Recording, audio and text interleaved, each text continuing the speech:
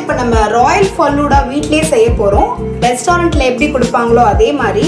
So அதுக்கு இந்த மாதிரி நான் ரெண்டு பெரிய கிளாஸ் எடுத்திருக்கேன். ஸோ ஃபலூடாவோட அழகே பார்த்தீங்கன்னா இதில் நம்ம எத்தனை ஸ்டெப்ஸ் உள்ளே போட்டு இதை ஆட் பண்ணுறோம் அதில் தான் இருக்குது ஸோ இந்த மாதிரி ஹைட்டான டம்ளர் எடுத்துக்கிட்டிங்க அப்படின்னா இதை அசம்பிள் பண்ணும்போதும் சரி பார்க்கும்போதும் சரி ரொம்ப அழகாக இருக்கும். நம்ம அசம்பிள் பண்ண போகிறோம்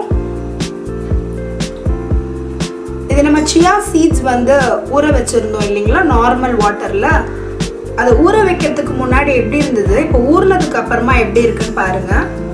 இங்கே பாருங்க குட்டி குட்டி கண்ணு மாதிரி வந்திருக்கு.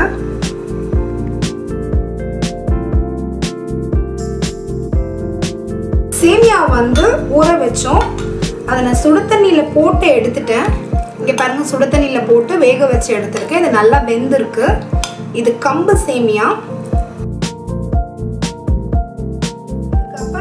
இங்கே ரோஸ் சிரப் எடுத்திருக்கேன்.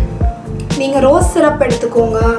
இல்லை பைனாப்பிள் சிரப் எடுத்துக்கோங்க. இல்லை ஸ்ட்ராபெரி சிரப் எடுத்துக்கோங்க. எந்த சிரப் வேணால் நீங்கள் எடுத்துக்கலாம்.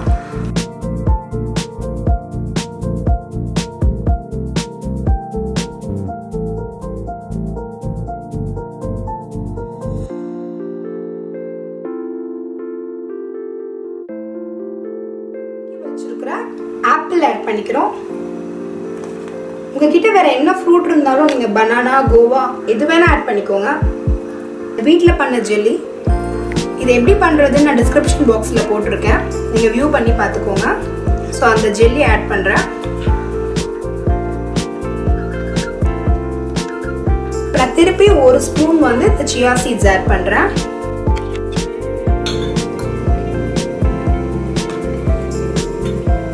இப்போ இதுக்கு டாப்பிங்க்கு இந்த ஐஸ்கிரீம் தான் ஆட் பண்ண போகிறேன் இது பிளாக் கரண்ட் ஃப்ளேவர் நான் இதுதான் வந்து டாப்பிங்க்கு ஆட் பண்ண போகிறேன் உங்ககிட்ட என்ன ஐஸ்கிரீம் இருக்கோ நீங்கள் அதை ஆட் பண்ணிக்கோங்க.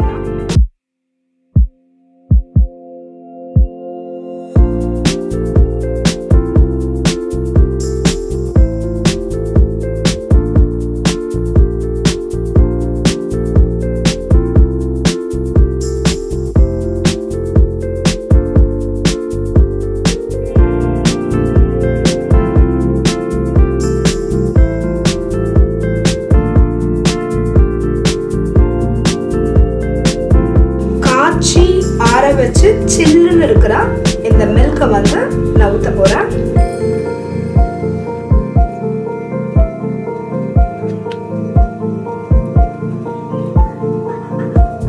நம்ம வீட்லேயே நம்ம ஹெல்த்தியாக ஹைஜீனிக்காக ரெடி பண்ணிட்டோம்.